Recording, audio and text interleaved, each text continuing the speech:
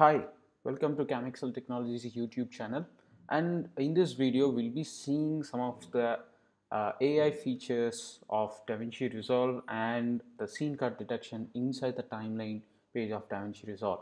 So let's get into the video.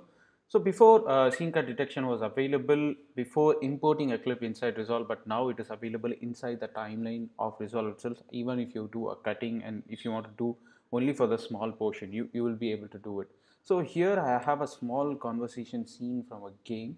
So let's see how this scene cut detection works. Again scene cut detection works with the luminance changes of the image. So uh, I'm going to do a scene cut so it is available in timeline and detect scene cuts. So when you click that, it is going to automatically detect the cuts for you across uh, the clip you have selected or the clips in the timeline.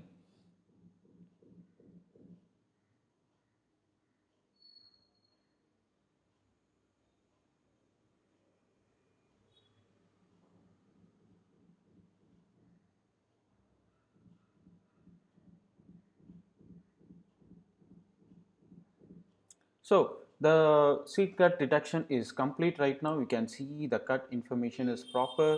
Each image has a proper cut. And in some cases you can see here it is the same footage but it has detected a cut. That is because there is a huge luminance change and in this case we are very simple. You can just expand this particular clip so that it is a single clip and it's very easy to uh, control that as well. So the next step uh, feature we are going to see over here here uh, so the next uh, feature that we are going to see over here is the reframing feature. Let's say this is a, a HD TV resolution and I wanted to export it to uh, Instagram let's say for square output. So I'm going to the settings and I'm going to change the output and hit save. So I'm going to find the timeline here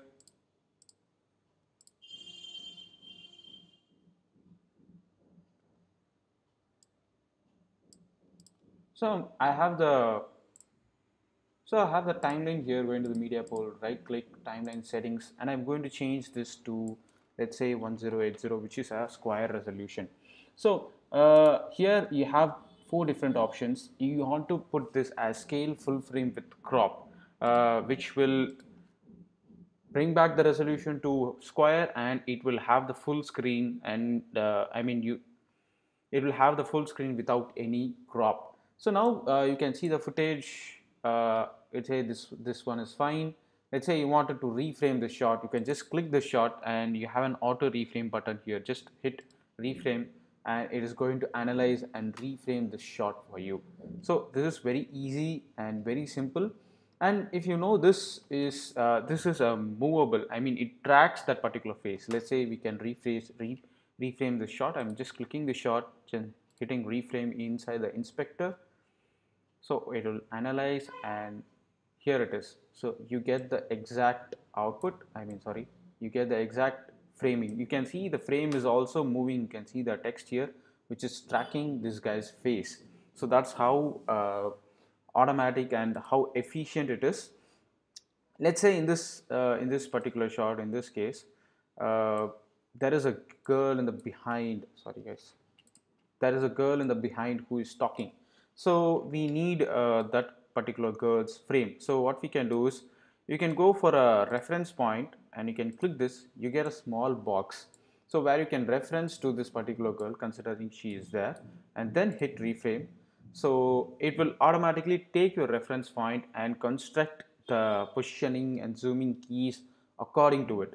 So you can see this, it's first in the normal position and then after you have referenced it I mean you have referenced it and it will automatically move to that uh, particular reference point you have kept it. So it is basically acting towards your reference but uh, when it is needed.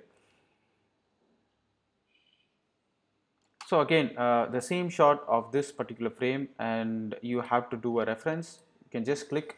So you need to select the reference. Let's say I'm not selecting any reference and just going to hit auto so it will keep the main guy's face here. So we don't want that. We want a girl which is talking in the background. So reference point, you can keep the reference and hit reframe.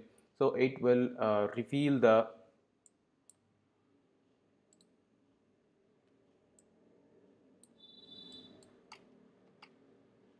so sorry uh, we need to reset this first and then keep the reference point and just hit reframe and it should automatically work so so that you get the so you get the proper uh, selection port. So you get the proper uh, smart reframe feature. So that's it guys. And you can so uh, you can also see the position over here. It is changing over here and, and it has put an automatic keyframe. So this reframing is not a, like an uh, you cannot control and stuff like that. So it is doing a, a actual keyframing where you can see these things. So you can move between different key points and if you want to adjust certain things you can adjust and it will do a small animation for you. So that's it guys about the scene cut detection and a smart reframe. So see you in another video. Thanks